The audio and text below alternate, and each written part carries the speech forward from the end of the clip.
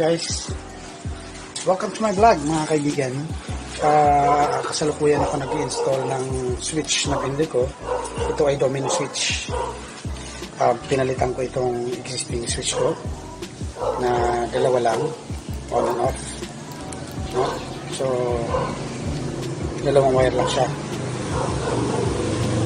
So, nakabili ako nitong domino switch um, sa Lazada, mga kaibigan. So, ang price nito, uh, makikita nyo sa screen. Saan ko ba gagamitin yung aking itong switch na to na pinalitan ko? Unang-una, para sa pag-off and on ng aking um, park light na ice blue. Para kung halimbawa punta ako ng syudad, na feeling ko nakakatakot na baka mahuli ako ng LTO dahil hindi nga yan allowed yung blue. Eh, ma-off ko siyang gano'n. Gano'n naman pangalawa, left and right siya. Pero pwede ko siyang gamitin sa high and low ng aking mini driving lights. So, push to the left and push to the right lang naman tayo, no? Pag sa gitna, off. Okay. Yan ang reason kung bakit ko ginamit itong gitna para sa aking mini driving lights. Kasi, um, according sa LTO, kailangan mo sariling switch daw yung mini driving lights.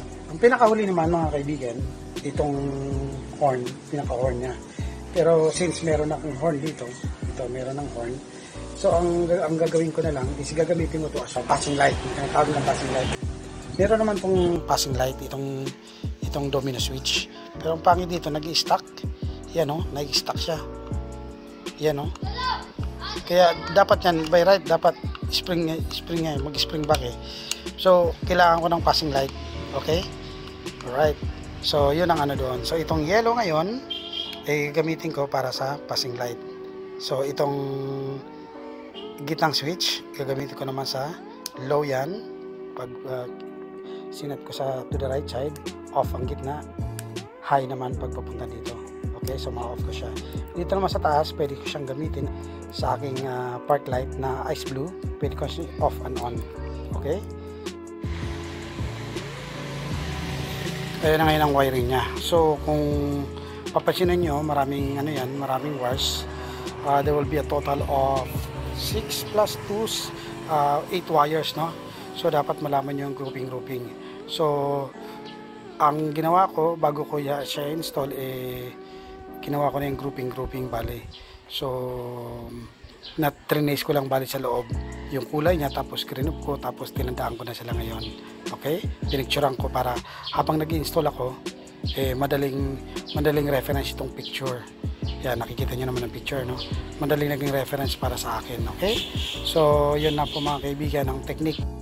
Ang maganda dito sa switch na to mga kaibigan ay uh, metal siya. Tignan mo. Baba metal siya. Hindi ka ito plastic. Ito metal. So feeling ko tatagal naman siya no. Yan ang maganda sa maganda sa switch na to. And uh, mukhang hindi naman papasukin ng tubig.